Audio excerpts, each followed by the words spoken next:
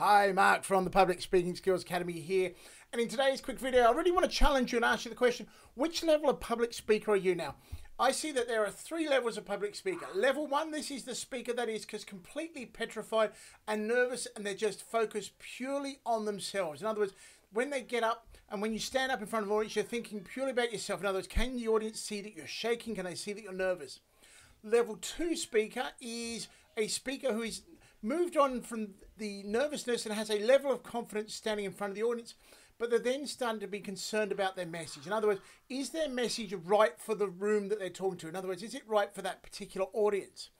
And level three speaker is someone who is comfortable to stand in front of audience, comfortable with their message, and really then just focus on is the audience members getting the value from the message? Are they understanding what is being said? Now, this is important because level three is where influence happens. If you want to persuade people, you want to influence people, you've got to move through level one, level two, and get up to level three. As I work through with a lot of my uh, contacts and clients in the Speak to Influence program and in my uh, my mastermind, it's really about helping them get from level one through to level two and then up to level three, because level three is where the where the power is. Level three is where you can influence audiences and make changes happen. So answer the question which level are you? Level one, nervous? Level two, you're starting to focus on your message? Or level three, are you someone who is focused on getting your message understood and appreciated by your audience?